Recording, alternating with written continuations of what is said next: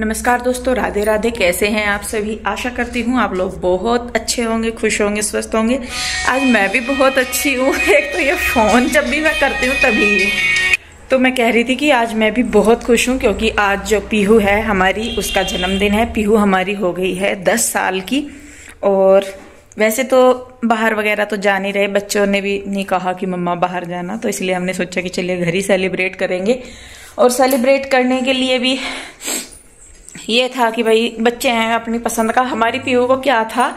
मैंने से पूछा, मैंने कहा, बेटे, क्या बनाएँ, क्या खाएँ? कह रही कि, मम्मा, साग बना लो, क्योंकि पीहू को साग और मक्की की रोटी बहुत पसंद है। तो मैं कहा, बेटे, जन्मदिन है तेरा, ऐसे तो अच्छा नहीं लगने का। फिर कहने लगी कि, चलो, आपको जो मन करे, वो बना लो। तो अब मैं उसकी चॉइस को ध्यान में रखते हुए, जो उसे पसंद है, एक तो उसे दाल मखनी बहुत पसंद है, साग पसंद है तो साग मैं बनाऊँगी, लेकिन मैं उसमें पनीर डाल के पालक पनीर बनाऊँगी। मतलब उसके साग का भी साग रह जाएगा और पालक पनीर भी बन जाएगा। तो उसके लिए यहाँ पे मैंने देखे मंगवाई है ये सब्ज़ी। ये है मेथी, ये है पालक और ये है सरसों का साग। ये सरसों है। और ये है यहाँ पे दाल मखनी के लिए साबुत उड़द। क्योंकि मेरे पास थे नहीं तो इसलिए मैंने ये जो उड़द है साबुत ये मंगवाए और इनमें थोड़ा मैं करूँगी राजमा मिक्स। कोशिश करूँगी कि आज जो ये स्पेशल व्लॉग है, ये सिर्फ़ मैं रेसिपीज़ के लिए ही करूँगी। क्योंकि अगर मैं इसको वैसे बाकी उसमें ऐड करती हूँ तो वीडियो काफ़ी लंबा हो जाता है। तो मैंने सोचा, मैंने कहा, चलिए इसको हम दो पार्ट में डिवाइड कर देते हैं। एक, जिसमें कि मैं आपको कम्प्लीटली रेसिपीज़ जैसे कि मैं बनाती हूँ, वो शेयर कर पाऊँ। और दूसरा वो कि जिसमें मैं, क्या बोलते हैं, हम बर्थडे सेलिब्रेट करेंगे। तो जी चलिए, बस फिर बातें बहुत होगी टाइम बहुत कम है, सब आएँगे। वैसे तो मैंने आशु को भी बोला था, मैंने कहा आ जाओ, पर मुझे पता नहीं वो किस टाइम आएगी, किस टाइम नहीं। तो जब तक मेरे जो काम है, मैं वो कर लेती हूँ। अभी दोपहर तो के खाने के बर्तन है तो जब तक मैं ये थोड़ी बहुत से काम करती हूँ, सबसे पहले मैं अपना किचन समेटती हूँ, उसके बाद फिर मैं करती हूँ बाकी सारे काम। तो जी, लग गए हैं काम पे। सबसे पहले मैं रख रही हूँ पानी गर्म होने के लिए, क्योंकि जो साबुत उड़द हैं और उसमें जो मिक्स करने के लिए राजमा है, उसे मैं भिगो के रखूँगी गर्म पानी में। क्योंकि साथ के साथ ही ख़रीद के लाए थे। अगर सुबह के टाइम मेरे पास होते तो मैं इन्हें सुबह ही भिगो देती। तो फूलने के लिए जो है, इनके मैं गर्म पानी कर रही हूँ तो उसमें मैं इन्हें आधा घंटा भिगो के रख दूँगी। तो ये फूल जाएँगे, उसके बाद उबलने के लिए रख दूँगी। तो तब तक मैंने पानी गर्म करना है, तब तक मैंने कहा, ये किचन के जो बर्तन वगैरह हैं, ये मैं कर लूँगी। क्योंकि सुबह जो खाना वगैरह बनाया था, फिर मार्केट चले गए थे, फिर आके और थोड़े बहुत से काम किए तो बर्तन रह गए थे। तो बस मैंने कहा, चलिए यहाँ पर आज पहले मैं कर लेती हूँ अपने सारे काम, बर्तन हो गए हैं पूरे। मतलब साफ़ हो गए हैं, उसके बाद मैं एक बार अपने किचन को साफ़ कर दूँगी। और ये आदत ही है मेरी, मैं जितनी भी बार सिंक पे जाती हूँ, मैं उतनी ही बार इस गैस को साफ़ करती हूँ। क्यों करती हूँ, मुझे भी नहीं पता। तो जी देखिए, पानी उबल गया है हमारा और अब जो है मुझे भिगोनी है दाल। तो यहाँ पे मैंने एक कटोरी जो साबुत उड़द होते हैं, वो मैंने लिए हैं। मतलब सबके लिए मैं बना रही हूँ तो मैं अपना मेज़रमेंट कर रही हूँ। एक कटोरी साबुत उड़द और आधा कटोरी के लगभग राजमा लिया है। ये बड़ा राजमा है मतलब जो रेड वाला राजमा होता है, बड़ा आता है ना, वो वाला है। ये जल्दी फूल जाता है, जो छोटा राजमा आता है, वो जल्दी नहीं फूलता। तो इनको धो के अच्छी तरीके से कुकर में डाल के, जो पानी गर्म हमने किया है, उसमें हम इसको भिगो के रख देंगे आधे घंटे के लिए। तो ये अच्छी तरीके से फूल जाएगा। तो ये हो गया है हमारा काम। अब साथ के साथ मैं भिगो दूँगी चावल, क्योंकि मुझे चावल बनाने हैं। चावल फ़ंक्शन वगैरह पे कुछ होता है तो हम लोग बनाते ही हैं। रूही के जन्मदिन पे इसलिए नहीं बनाए थे, उस दिन एकादशी थी तो एकादशी को चावल नहीं बनते। तो देखिए बस यहाँ पे जो चावल है, उनको भी मैं दो तीन बार करके अच्छी तरीके से धो लूँगी। चावल जो हैं, ये साफ़ ही हैं हमारे मतलब साफ़ नहीं करने पड़ते, मार्केट से लिए हुए हैं तो ये साफ़ ही हैं बिल्कुल। और वैसे भी मतलब अब तो साफ़ ही आती हैं ज़्यादातर चीज़ें।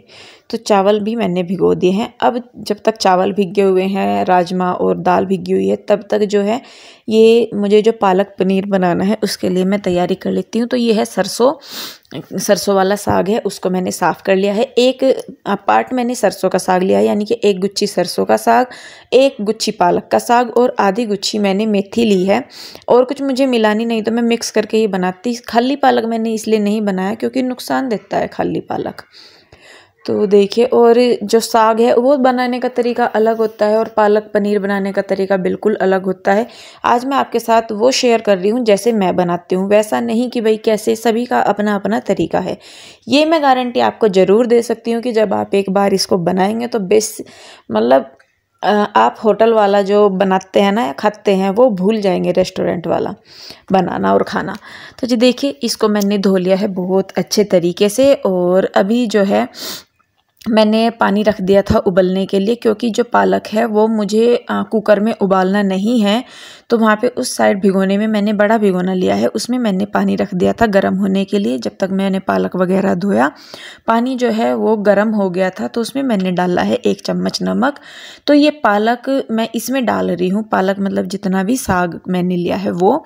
इसको हम पानी में सिर्फ़ तब तक उबालेंगे, जब तक एक उबाल नहीं आ जाता पानी में। पानी मतलब गरम पूरा नहीं करा था, मैंने हल्का सा गरम करा था तो जब तक एक उबाल पानी में आएगा, जो पालक है, वो हमारा सॉफ्ट हो जाएगा। हमें पालक गलाना नहीं है, सिर्फ़ उसको सॉफ्ट करना है, जिससे कि हम उसे बाद में पीस सकें। बाकी मैंने उसमें कुछ नहीं डाला है, सिर्फ़ नमक डाला है थोड़ा सा पानी में और उसके बाद मैंने ये जो पालक है, ये रख दिया है। जब तक ये होते हैं, इधर दाल भी उबलनी रख दी है मैंने, जो साबुत उड़द है, वो भी उबलने मैंने रख दिए हैं नमक डाल के और उधर पालक भी हमारा हो जाएगा। तो ये देखिए हल्का हल्का सा सॉफ्ट होने लगा है और बस जब तक ये होएगा पाँच सात मिनट होती हैं बस, या एक उबाल आ जाए पानी में, इतना आपको इसको पकाना होता है। तो जब तक मैं छोंक कर लूँगी पालक पनीर और दाल मखनी दोनों के लिए ही मैं छोंक साथ में ही तैयार कर रही हूँ। तो देखिए, जो हमारा पालक है, वो काफ़ी अच्छे से हो गया है और इसको मैं साथ के साथ निकाल दूँगी और ठंडे पानी से इसको धो दूँगी। अभी क्योंकि ठंड है, अगर गर्मी होती तो बर्फ़ वाले पानी में इसको डालते हैं, जिससे कि ये साथ के साथ ठंडा हो जाए और ये ज़्यादा मतलब ना पके। जो पालक है, उसमें कच्चापन सा एक रहे। तो जब तक वो ठंडा होता है, मैं अपनी बाकी जो छोंक की तैयारी है वो कर लेती हूँ।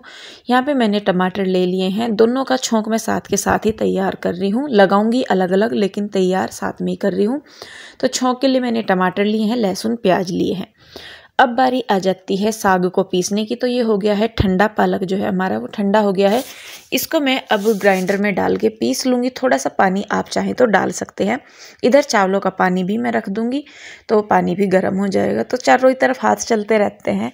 तो देखिए बस यहाँ पे अभी जो है मैं अपना थोड़ा बहुत इधर उधर सामान जो है, क्योंकि मुझे सलेब जो है वो भरा हुआ अच्छा नहीं लगता। ना मेरे पे काम होता भरे हुए स्लेब पे। तो यहाँ पे पहले जो टमाटर है, मैं उनको पीस लूँगी। टमाटर का मैं बनाऊँगी पेस्ट क्योंकि पालक में भी मुझे डालना है और उसके बाद जो दाल मखनी है उसमें भी। यहाँ पे हमारा जो पालक है, वो भी मैंने पीस लिया है। ये देखिए थोड़ा सा मैंने पानी इसमें डाला था ताकि पीसने में ये ईजी हो जाए। और ये ध्यान रखिए कि साग जो है, हमारा पालक है, वो बिल्कुल कच्चा है। तो इसको हमें बाद में बहुत अच्छे से पकाना होगा। यहाँ पे मैंने लिया है 200 ग्राम पनीर, इसको मैं क्यूब्स में काट लूँगी। और इसको मैंने पहले धो लिया था। अभी मुझे जो है सबसे पहले हम करेंगे पनीर जो है वो फ्राई करूँगी मैं थोड़ा सा हल्का सा गोल्डन ब्राउन होने तक। ज़्यादा नहीं करना है। अगर मैं पालक मतलब पनीर खाली वैसे बनाती, कढ़ाई पनीर या चिल्ली पनीर वगैरह तो मैं फ्राई नहीं करती। लेकिन जब मैं पालक पनीर बनाती हूँ तो उसमें जो पनीर है वो मैं फ्राई करके ही डालती हूँ। तो यहाँ पे देखिए, तेल मैंने चढ़ा दिया है कढ़ाई में। जब तक तेल गर्म होता है, तब तक मैं अपने जो लहसुन प्याज है, उनको मैं बारीक बारीक चॉप कर लूँगी। पेस्ट मैं इसलिए नहीं बना रही हूँ लहसुन प्याज का, क्योंकि पेस्ट जब हम इस्तेमाल करते हैं लहसुन प्याज का तो तेल बहुत ज़्यादा लगता है। इसीलिए तो मैं बस सिर्फ़ इसको बारीक बारीक चॉप कर रही हूँ, ताकि तेल जो है वो कम लगे। तेल गर्म हो गया है हमारा, उसमें हमने डाल दिया है अपना पनीर। और हल्का गोल्डन ब्राउन सा जब ये हो जाएगा, तब मैं इसको उतार लूँगी। ज़्यादा भूनना नहीं है, पनीर में ज़्यादा इसलिए नहीं डाल रही, क्योंकि सब लोग पनीर साग के अंदर इतना नहीं खाते। बच्चे साग साग खाते हैं, कुछ पनीर पनीर खाते हैं। तो देखिए, बहुत अच्छा सा कलर हमारे उसमें आ गया। अब यहाँ पे जो है तेल के साथ मैं कर रही हूँ बटर इस्तेमाल, क्योंकि बटर का जब इस्तेमाल हम छोंक में करते हैं तो उसका फ्लेवर, उसका टेस्ट बहुत ही अलग हो जाता है खाने का तो बहुत अच्छा आता है। तेल गरम हो गया, सबसे पहले हींग डाल दिया है, धनिया डाला है, जीरा डाला है थोड़ा सा मेथी दाना डाला है मैंने, उसके साथ मैंने डाल दिया है लहसुन और अदरक का पेस्ट। तो लहसुन मैंने इस अदरक का पेस्ट जो है रेडीमेड है, बाकी मैंने जो लहसुन प्याज है वो घर पे ही पीसी हुई है। तो जब लहसुन अदरक का पेस्ट भुन जाएगा, तब हम जो लहसुन और प्याज है, वो भी डाल के भून देंगे। तो जब तक ये भुन रही है, मैं अपना थोड़ा सा और एक्स्ट्रा काम कर लेती हूँ। धनिया पाउडर मेरा ख़त्म हो गया था तो मैं यहाँ पे साथ के साथ ही उसको पीस लूँगी। तो कुछ काम है जो साथ के साथ ही हो जाते हैं। तो देखिए, हमारी ये जो है भुन गया है मसाले। सॉरी, मसाले नहीं, लहसुन प्याज जो है वो हमारी भुन गई है। अब हम इसमें डाल देंगे अपने जो बेसिक से मसाले होते हैं, वो हल्का सा गोल्डन ब्राउन हमें इनको करना है। ज़्यादा नहीं भूनना है कि भाई बिल्कुल लाल पीला कर देना है। हल्का सा गुलाबी रखेंगे। तो जलाना नहीं है मतलब कुल मिला के बात ये है। तो देखिए, इधर हमारे चावलों का जो पानी है, वो भी पक गया है। अब इसमें मैं चावल डाल दूँगी और साथ में थोड़ी सी हल्दी डाल दूँगी। सफ़ेद चावल मैं नहीं बनाती, कढ़ी के साथ बनाती हूँ। आप लोग पूछते हैं कि सफ़ेद चावल आप क्यों नहीं खाते? हल्दी क्यों डालते हो? तो जी, उसका कुछ मेरा अपने धर्म के प्रति कुछ है तो उस वजह से मैं जो है पीले चावल नहीं बन मतलब पीले चावल ही बनाती हूँ। तो जी, उधर देखिए हमारा जो छोंक है, वो भी हो गया। उसमें मैंने हल्दी, मिर्च और जो कस कस सॉरी, कश्मीरी लाल मिर्च होती है, वो और धनिया पाउडर डाल के भून दिया है। उसके बाद टमाटर का पेस्ट डाला है, ऊपर से डाल दिया है नमक। और जब ये देखिए, बहुत अच्छे से ये हमारा टमाटर का पेस्ट पक जाएगा, तेल अलग होने लगेगा, इसमें से ये बर्तन को छोड़ने लगेगा। तब जो है, हम इसमें डाल लेंगे पनीर। मैं पनीर पहले इसलिए डाल रही हूँ ताकि जो मसाले हैं, वो पनीर के अंदर अच्छे से चले जाएँ। क्योंकि पनीर हमने रोस्ट किया हुआ है, थोड़ा सा मतलब फ्राई किया हुआ है तो उसके अंदर मसाला जाने में थोड़ा सा टाइम लगेगा। तो थोड़ा सा पानी डाल के मैंने पनीर पकने के लिए छोड़ दिया और देखिए कलर कितना अच्छा आया है। तो जब तेल अलग होने लगा है, पनीर अच्छे से पक गया है तो हमने इसमें जो पालक का पेस्ट बनाया है, वो हमने इसमें कर दिया है मिक्स। और आप देख रहे होंगे कि मतलब कलर जो है पालक का बिल्कुल वही है। आप मुझे पूछते हैं कि आपके पालक का कलर चेंज क्यों नहीं होता? तो जी देखिए, इसका तो रीज़न मुझे भी नहीं पता है कि क्या है, लेकिन ऐसा ही रहता है। काला नहीं होता, कई बार साग का रंग काला हो जाता है तो वो नहीं होता है। तो यहाँ पे थोड़ा सा जितना आपको साग गाढ़ा रखना है, ये पालक गाढ़ा रखना है, या पतला रखना है, उसी हिसाब से आप इसको पानी डाल के पकने के लिए छोड़ दीजिए। तो उधर जब तक हमारा पालक पक रहा है, इधर हमारे जो चावल है, वो भी हो गए हैं, उनको भी मैं साथ के साथ ही निचोड़ दूँगी। और जो मांड है, उसका इस्तेमाल जो मैंने दाल उबाली है मतलब दाल मखनी के लिए जो दाल उबाली है, उसकी तरी बनाने में मैं करूँगी। क्योंकि मैं जब दाल वगैरह उबालती हूँ तो मैं उसमें पानी उतना ही डालती हूँ जितना ज़रूरी होता है। बाकी जो ऊपर की कमी रह जाती है, वो मैं मांड से पूरी करती हूँ तरी बनाने में। तो चावल भी हमारे निचुड़ गए हैं। अब मुझे लगाना है दाल मखनी में तड़का। तो जो पालक है, वो मैं दूसरी गैस पे रख दूँगी, क्योंकि अब उसको सिर्फ़ पकना है तो वो आराम से पकता रहेगा। और उधर दूसरी गैस पे जो है, वो मैं लगा दूँगी तड़का। तो देखिए, बस यहाँ पे भी मेरा सेम वही है कि नारी सॉरी सरसों के तेल में मैंने थोड़ा सा बटर मिक्स किया है और जब वो अच्छे से पिघल जाएगा तो मैं तड़का लगाऊँगी। बीच बीच में हम पालक पनीर को भी घुमाते रहेंगे, नहीं तो क्या होगा कि नीचे लग जाएगा।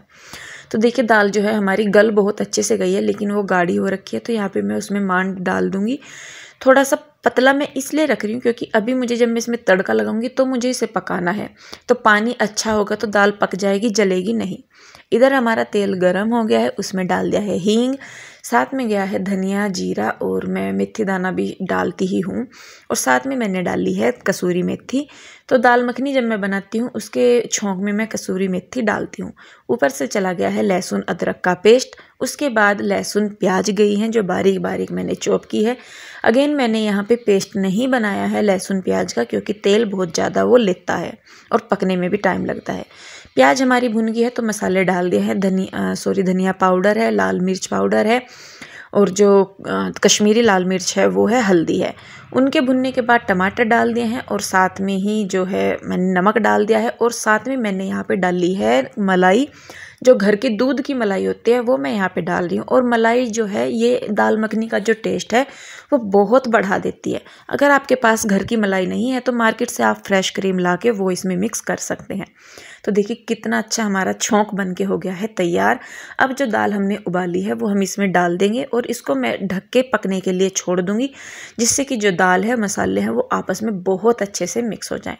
इधर जो है हमारा पालक भी पकने लगा है। जब तक पालक पकेगा, तब तक जो है मैं अपना आटा लगा लूँगी। तो आटे में मोइन के लिए मैंने यहाँ पे रिफाइंड डाला है थोड़ा सा और उसके बाद इसको अच्छे से मिक्स करने के बाद मैं इसमें डाल दूँगी थोड़ी सी कसूरी मेथी और थोड़ा सा मैं डाल लूँगी अजवाइन, जिससे कि जो पूरियाँ हैं वो ज़्यादा नुकसान ना दें। और जो अजवाइन का और कसूरी मेथी का जो टेस्ट आता है वो भी बहुत अच्छा आता है। पूरियों में। तो अब यहाँ पे हम लगा लेंगे एक सख्त मतलब ज़्यादा सॉफ्ट नहीं करना, ना ज़्यादा सख्त करना, आटा लगा लेंगे हम। और इसको रख दूँगी मैं थोड़ी सी देर रेस्ट पे, बाकी अपने काम में कर लूँगी तब तक। तो देखिए, दाल भी हमारी पकने लगी है बहुत अच्छे से, और मैं आपको बाद में दिखाऊँगी कि कितनी अच्छी हमारी बन के तैयार हुई है, कलर कितना अच्छा आया है सारी चीज़ों का। और बाकी जो आप डेकोरेट करते हैं, ऊपर से गार्निशिंग करते हैं, उसका एक अलग ही मज़ा आता है। तो देखिए, साग हमारा जो है पालक पनीर बन के हो गया है तैयार। कलर बिल्कुल भी इसका ख़राब नहीं हुआ। कई बार हमें पालक का पता नहीं लगता कि वो पक गया है या नहीं तो तेल सा ऊपर आने लगता है इसके ऊपर तो उससे हमें आइडिया हो जाता है कि ये पक गया। या आप ज़रा सा टेस्ट करके देख सकते हैं, अगर कच्चापन लग रहा है तो आप इसको थोड़ी देर और पकने दीजिए। तो अब मुझे लगाना है दोबारा तड़का। यहाँ पे मैंने लिया है देसी घी, उसमें मैंने डाला है हींग, दो साबुत लाल मिर्च, थोड़ा सा उसमें मैंने डाला है जीरा और डाली है कश्मीरी लाल मिर्च जो इसको बहुत अच्छे से हम फ्राई करेंगे। और जो ये तड़का फ्लेवर साग में लगेगा ना, वो मतलब होटल वाला ही आपको बिल्कुल टेस्ट दे देगा जब ये तड़का लगेगा इसके ऊपर ऊपर तो यहाँ पे अब ये तेल हमारा मतलब घी हमारा अच्छे से पक गया है। अब इसको हम इसमें करके और साथ के साथ इसको ढक देंगे ताकि जो इसका घी का स्मोकी फ्लो फ्लेवर है वो सारा साग के अंदर चला जाए। इधर हमारी दाल भी हो गई है अच्छे से, क्योंकि ये दाल जो है वो रखने के बाद और टाइट हो जाती है करडी हो जाती है तो इसको मैंने थोड़ा सा लूज छोड़ा है। ऊपर से हरा धनिया डाल के कर देंगे गार्निशिंग बाकी ये जो मेरे पास फ्रेश क्रीम है अमूल की इससे मैं करूँगी गार्निशिंग इसकी थोड़ी सी और थोड़ा सा मैं इसके ऊपर डालूँगी पनीर कद्दूकस करके। क्योंकि देखिए दाल या सब्ज़ी कुछ भी होती है अगर वो देखने में अच्छी लग रही है तो मतलब बहुत अच्छा लगता है। और होटल में आपने देखा होगा कि डेकोरेशन उसकी इतनी होती है कि दाल खाने में चाहे जैसी हो लेकिन डेकोरेशन उसकी बहुत अच्छी लगती है। सेम मैंने यहाँ पे पनीर के सॉरी पालक पनीर के ऊपर कर दिया है आ, क्रीम से और पनीर से थोड़ी सी गार्निशिंग कर दिया है। अब बारी आ जाती है पूरिया बनाने की तो यहाँ पे देखिए मैंने बना दी है पूरिया। फुल्ली फुल्ली सारी मेरी पूरिया बनेंगी और मोइन डालने की वजह से जो पूरिया हैं वो कुरकुरी बनती है। हार्ड नहीं होती मतलब कुरकुरी होती हैं, लेकिन हार्ड नहीं होती। तो देखिए जी, बस इस तरीके से ही मेरा जो सारा खाना है वो तैयार हो गया है और जब तक मैंने खाना बनाया, कोई नहीं आया था। जब मैंने पूरियाँ बनानी शुरू करी, तब आशुहर आ गए थे। तो मतलब ये था कि आने से पहले सब के मैंने अपना काम निपटा लिया, जो मेरा काम था। अब जो रह जाता है वो बाकी आगे की ज़िम्मेदारी रह जाती है जन्मदिन की। तो जी, देखिए, पूरियाँ मेरी बन गई हैं सारी की सारी और अब मैं आपको दिखाती हूँ फाइनली अपनी सब्जियों की शक्ल। तो ये है हमारी दाल मखनी। और देखने में तो अच्छी लग रही है। ये है पालक पनीर, साथ में है चावल और उसके साथ में है पूरिया। तो जी, मैंने अपनी तरफ़ से पूरी कोशिश की है कि आप लोगों को इजी से इजी रेसिपी मैं बता सकूँ। ये मैं आपको गारंटी कह सकती हूँ कि आप एक बार इस तरीके से बना के देखिए, जैसे मैंने बताया है। तो आपके बच्चे, आपकी फैमिली वाले दोबारा बोलेंगे आपको बनाने के लिए कि आप बनाइए और होटल का खाना तो वो बिल्कुल भूल ही जाएँगे। तो जी कैसी लगी मेरी कोशिश, मुझे ज़रूर बताइए। कमेंट करके वीडियो कैसा लगा, ज़रूर बताइए। तो जी, बस मिलेंगे एक और नई वीडियो के साथ। आप लोग अपना बहुत ध्यान रखिए, खुश रहिए, स्वस्थ रहिए। मिलते हैं जल्दी, तब तक के लिए राधे राधे